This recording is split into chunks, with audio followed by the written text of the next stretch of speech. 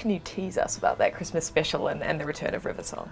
Well, it's uh, River Song back in action, uh, you know, at, uh, at her best and funniest and most outrageous. But the, uh, the most fun thing I think about the Christmas special is she doesn't know it's him.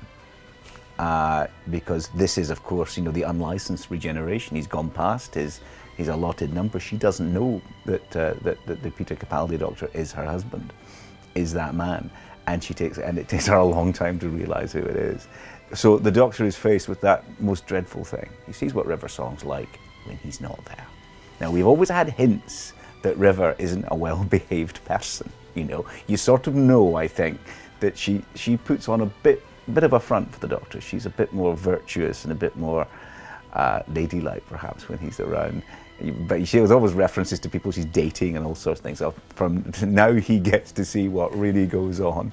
And the Doctor, because I always think the th fun thing about the Doctor is uh, he's a lot more straight-laced than he thinks he is. He thinks he's the, he's the wild, wacky man of the universe, but he's actually a, bit, he's a little bit uptight. He's a lot more uptight than River is. So he's, he's in for a, a Christmas shock when he sees what Mrs. Who is, is like when his back is turned.